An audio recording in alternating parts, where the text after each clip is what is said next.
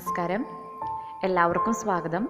അപ്പോൾ ഞാൻ ഇന്ന് വന്നിരിക്കുന്നത് ഒരു നല്ല മീനച്ചാറിന്റെ റെസിപ്പി ആയിട്ടാണ്. അപ്പോൾ ഞാനതിന് വേണ്ടി എടുത്തിരിക്കുന്ന മീൻ എന്ന് പറയുന്നത് നമ്മുടെ ബ്രാലാണ്. വരാളെന്ന് ചില സ്ഥലങ്ങളിൽ പറയും.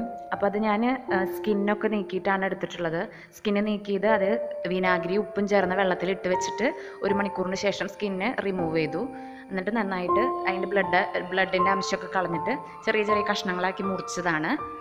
എന്നിട്ട് അതിനുള്ളിൽ മാരിനേറ്റ് ചെയ്ത് വെക്കാനുള്ള പൊടികളാണിത് കാണിക്കുന്നത്. മുളക് പൊടി മഞ്ഞൾപ്പൊടി അതുപോലെ പെപ്പർ പൗഡർ പിന്നെ ഇച്ചിരി ഉപ്പും വെളിച്ചെണ്ണയും കൂടിയിട്ട് നന്നായിട്ട് അതിൽ തേച്ച് പിടിപ്പിക്കുകയാണ് ചെയ്യുന്നത്. മിക്സ് ചെയ്തിട്ട് നന്നായിട്ട് അത് തേച്ച് പിടിപ്പിച്ചു.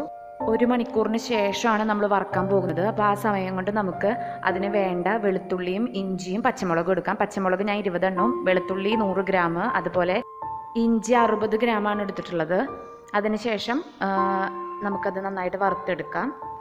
വറുത്തെടുക്കുമ്പോൾ രണ്ടോ മൂന്നോ ബാച്ചായിട്ട് വറുത്തെടുക്കുകയായിരിക്കും നല്ലത്. അപ്പോൾ അതിലോട്ട് നമുക്ക് ഒന്ന് വറവായി വരുന്ന സമയത്ത് കുറച്ച് കറിവേപ്പില ചേർക്കാം എന്നിട്ട് വറുത്ത് കോരുക. അങ്ങനെ രണ്ട് ബാച്ചായിട്ട് വറുത്ത് എടുക്കുന്നതായിരിക്കും നല്ലത്. കരിയാതിരിക്കാൻ പ്രത്യേകം സൂക്ഷിക്കുക. അത്യാവശ്യം വേവ് ആ ഒരു പാകത്തിന് മാത്രമേ എടുക്കാവൂ. അല്ലാതെ വല്ലാതെ കട്ടിയായി പോകാൻ പാടില്ല. അപ്പോൾ രണ്ടാമത്തെ വറുത്തെടുക്കുക. അങ്ങനെ വറുത്തെടുത്ത് വെച്ചിട്ടുണ്ട്.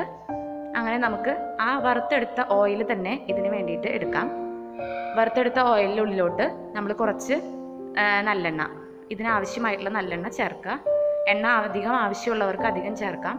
അതിലോട്ട് നമ്മൾ കുറച്ച് ഉലുവ ഉലുവ പൊടിയോ അല്ലെങ്കിൽ ഉലുവ മുഴുവനോടെ ചേർക്കാം. പൊടിയാണെങ്കിൽ ഏറ്റവും അവസാനം ചേർത്താൽ മതിയോ?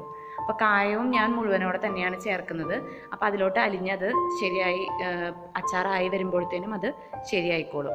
അപ്പോൾ അതിന്റെ ഉള്ളിലോട്ട് നമ്മുടെ പച്ചമുളകും ഇഞ്ചിയും വെളുത്തുള്ളിയും നമ്മൾ ചേർത്ത് കൊടുത്തു. നന്നായിട്ട് വഴറ്റിയെടുക്കുക അപ്പോൾ ഒരുപാട് കരിവൊന്നും ആവണ്ട. അത്യാവശ്യം ഒരു മൂപ്പാകുന്ന സമയത്ത് നമ്മൾ അതിന്റെ ഉള്ളിലോട്ട് പൊടികളെല്ലാതും ആഡ് ചെയ്യുക അപ്പോൾ ഇപ്പോൾ മൂപ്പായി വന്നിട്ടുണ്ട്. നമുക്കത് ഒന്ന് ജസ്റ്റ് ഒന്ന് നോക്കിയാൽ കാണാൻ നന്നായിട്ട് ഫ്രൈ ആയി വന്നിട്ടുണ്ട്. അപ്പോൾ അതിലോട്ട് മുളക് പൊടി രണ്ടര ടേബിൾ സ്പൂണും മഞ്ഞൾപ്പൊടി മുക്കാൽ ടീസ്പൂണാണ് നമ്മൾ ആഡ് ചെയ്തത്. എന്നിട്ട് അതിനുശേഷം നന്നായിട്ട് അത് മൂപ്പിച്ചെടുക്കുക പച്ചമണം മാറുന്നത് വരെ നന്നായിട്ട് വഴറ്റി കൊടുക്കുക അതിനുശേഷം നന്നായിട്ട് മൂത്തതിന് ശേഷം അതിലോട്ട് നമ്മൾ വിനാഗിരി ആഡ് ചെയ്യാണ്. വിനാഗിരി നമ്മുടെ ഇഷ്ടാനുസരണം പുളിക്ക് ആവശ്യമായിട്ടുള്ള വിനാഗിരി ചേർത്ത് കൊടുത്താൽ മതിയാവും. ഞാനിവിടെ ഒരു ഗ്ലാസ് ചേർക്കുന്നുണ്ട്. ഒരു കിലോ മീനിന് ഒരു ഗ്ലാസ് ആണ് ഞാൻ ചേർത്തത്. എന്നിട്ട് അതിൽ ഉപ്പ് ആഡ് ചെയ്യാം. നമുക്ക് ആവശ്യത്തിനുള്ള ഉപ്പ് ആഡ് ചെയ്യാം. അപ്പോൾ ആ ഗ്രേവിയിലോട്ടുള്ള ഉപ്പാണ് ആഡ് ചെയ്തത്. അതിനുശേഷം മീൻ ആഡ് ചെയ്യാം. മീനിൽ ഓൾറെഡി നമ്മൾ ഉപ്പിട്ടിട്ടുണ്ട്. അപ്പോൾ ഒരുപാടായി പോകരുത്. പുളിക്കനുസരിച്ചുള്ള ഉപ്പ് ചേർക്കാൻ ശ്രദ്ധിക്കുക. എന്നിട്ട് നന്നായിട്ട് അതൊന്ന് ഇളക്കി കൊടുക്കുക. അപ്പോൾ നമ്മുടെ അച്ചാർ റെഡി ആയിട്ടുണ്ട്. വളരെ ടേസ്റ്റിയാണ് എല്ലാവരും ട്രൈ ചെയ്ത് നോക്കണം. ഏത് മീനിനും നമുക്ക് ഈ ഒരു ഇൻഗ്രീഡിയൻസ് യൂസ് ചെയ്തിട്ട് ഏത് മീൻ വേണമെങ്കിലും അച്ചാറിടാം ഞാനിവിടെ ബ്രാൽ എടുത്തു എന്നുള്ളൂ. അപ്പോൾ എല്ലാവരും ട്രൈ ചെയ്ത് നോക്കുക. സപ്പോർട്ട് ചെയ്യുക. അപ്പോൾ സബ്സ്ക്രൈബ് ചെയ്യാത്തവർ ഇനിയും സബ്സ്ക്രൈബ് ചെയ്തിട്ടില്ലെങ്കിൽ സബ്സ്ക്രൈബ് ചെയ്യുക. അടുത്ത വീഡിയോയിൽ കാണുന്നത് വരെ നമസ്കാരം.